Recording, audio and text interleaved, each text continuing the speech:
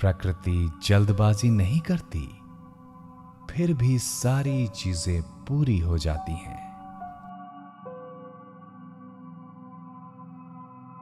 जो तुम्हारे पास है, उससे संतुष्ट रहो। चीज़ें जैसी हैं, उसमें आनंदित रहो। जब तुम इस बात का एहसास कर लेते हो कि किसी भी चीज़ की कमी नहीं है पूरी दुनिया तुम्हारी हो जाती है। एक चलती हुई चींटी एक ऊंघ रहे बैल से अधिक काम करती है।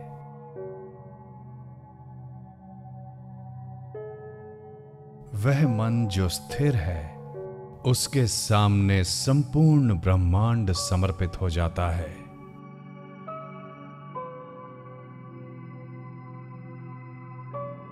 जिनके पास ज्ञान है, वो भविष्यवाणी नहीं करते।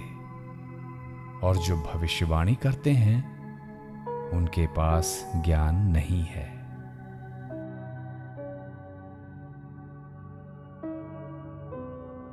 जब तुम उससे संतुष्ट हो जाते हो जो तुम हो, और खुद की न किसी से तुलना करते हो, न प्रतिस्पर्धा, तब सब लोग तुम्हारा सम्मान करते हैं।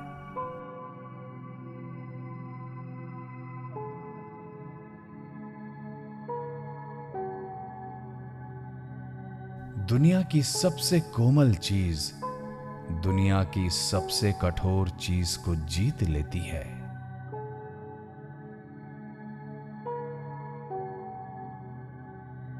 दूसरों पर काबू करना ताकत है, परंतु खुद पर काबू करना असली ताकत है।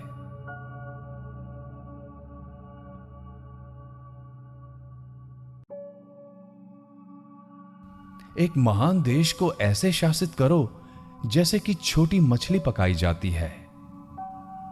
ज़्यादा मत पका दो।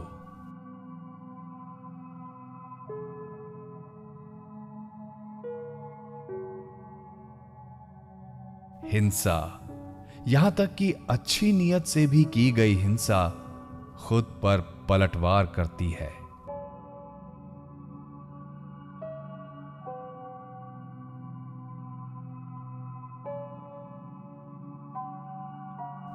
कोई बहते हुए पानी में अपनी परछाई नहीं देख सकता। केवल वो जो आंतरिक शांति अनुभव करते हैं, इसे दूसरों को दे सकते हैं।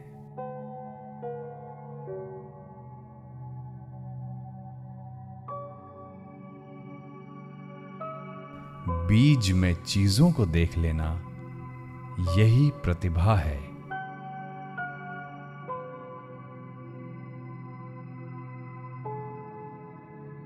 वो जो अपनी ही बात पर बहुत ज़ोर देता है, उसे कम ही लोगों का समर्थन मिल पाता है।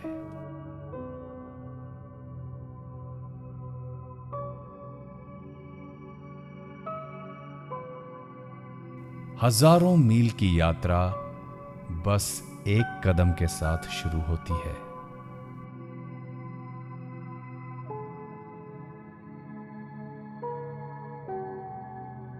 एक अच्छे यात्री की कोई तय योजना नहीं होती, और वो वहाँ पहुँचने पर आमादा भी नहीं होता।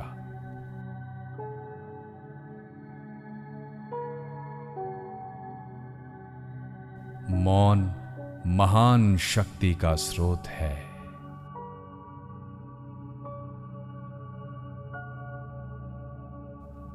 आत्मा का संगीत ब्रह्मांड द्वारा सुना जा सकता है।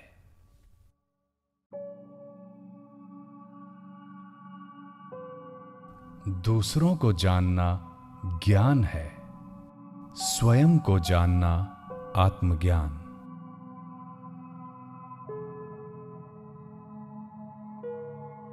जीवन और मृत्यु एक ही धागा है। अलग अलग ओर से देखी गई एक ही रेखा है।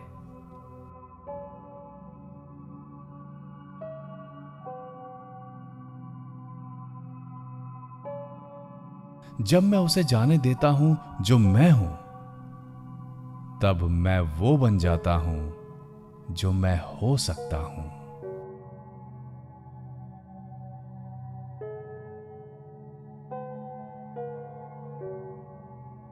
पानी की तुलना में कुछ भी अधिक नरम या लचीला नहीं है, फिर भी कोई पानी को रोक नहीं सकता।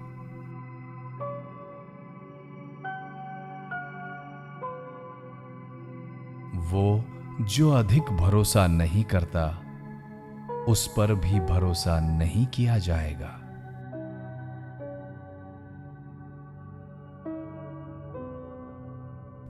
वो जो जानता है, बोलता नहीं, वो जो बोलता है, जानता नहीं।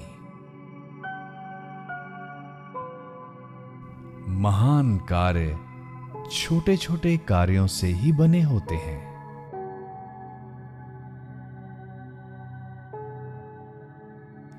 जब कोई राष्ट्र संघर्ष से भर जाता है तो देशभक्त पनपते हैं।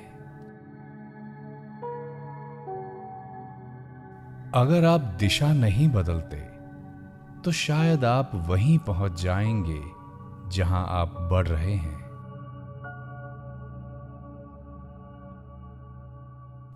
मेरे पास सिखाने के लिए सिर्फ़ तीन बातें हैं। सादगी, धैर्य, दया।